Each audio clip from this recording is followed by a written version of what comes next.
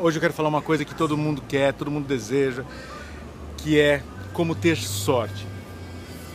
É, existem várias maneiras e várias coisas que as pessoas fazem para poder ter para poder ter sorte. Eu ia falar poder ter coach, para poder ter sorte. Talvez inclusive essa também, que foi o ato falho, que seria ter um coach, talvez traga sorte.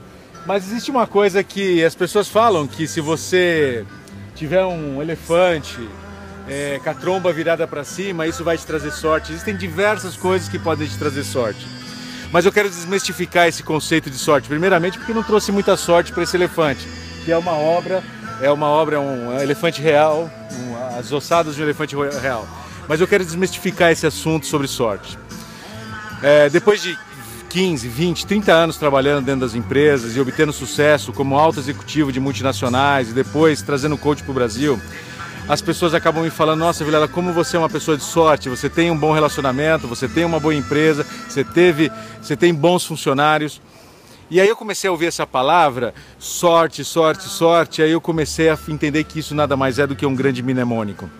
Um mnemônico que diz o seguinte: sorte, S, de sobre, a rotina da total evolução sobre a rotina da total evolução. Isso é ter sorte. Se você quer realmente ter sorte na sua vida, você tem que se perguntar intensamente: hoje eu estou melhor do que ontem? Mas não seja é, subjetivo, seja qualitativo. Em quais áreas da sua vida? Em que coisas que você fez especificamente que mostra para você que você realmente está sendo melhor do que ontem? Pode ser uma simples leitura de um livro, a busca de um conhecimento. Quantas páginas de livro você leu hoje em referência a anteontem e a antes de ontem?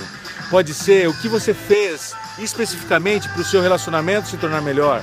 O que você fez especificamente para que você pudesse ter e possa ter melhor relacionamento com os seus clientes, que você possa oferecer maior trabalho dentro da empresa, mais produtividade dentro da empresa que você trabalha. Essa fica então a pergunta de coaching do nosso bate-papo de coaching. O que hoje você realmente, especificamente, está sendo melhor do que ontem? Comece a contabilizar os seus resultados, que eu tenho a certeza que você vai ter sorte também. Se você gostou deste bate-papo, não deixe de curtir. Inscreva-se em nosso canal e assista a outros vídeos desta série. Acesse também www.sbcoaching.com.br e conheça todas nossas especializações em coaching.